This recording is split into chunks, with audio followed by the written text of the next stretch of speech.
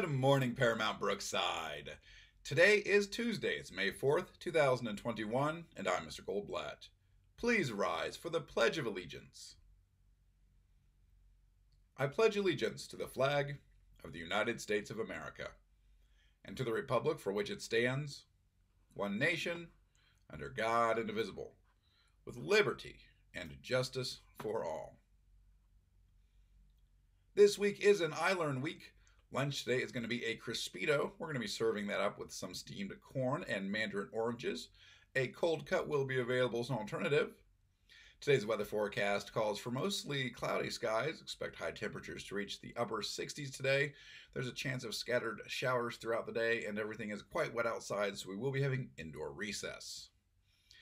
Applications for the summer robotics program are now available from your homeroom teacher. The summer robotics program will run from June 7th through July 2nd. We will meet every weekday from either 8 to 10 a.m. or 10 a.m. to noon, depending on your grade level.